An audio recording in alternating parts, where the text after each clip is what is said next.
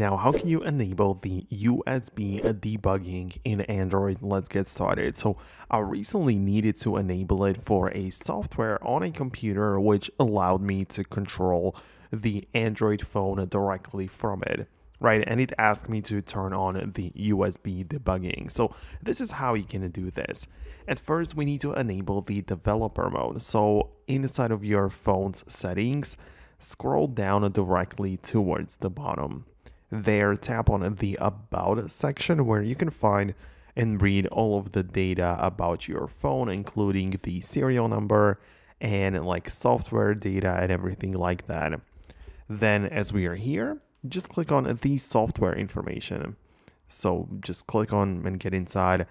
And uh, then I want you to locate the build number. So you can see it's like a very long build number, which is like clickable. Nothing happens when you click it, but when you tap on it seven times in a row, then the developer mode will be turned on.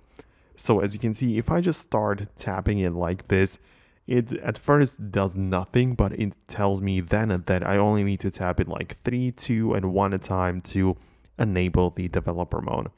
As I say, it's kind of unusual, but that's how you can enable it then it's going to let you know that the developer mode is enabled. And in the main settings page, at the bottom, you can find developer options. So another set of settings which can be tweaked.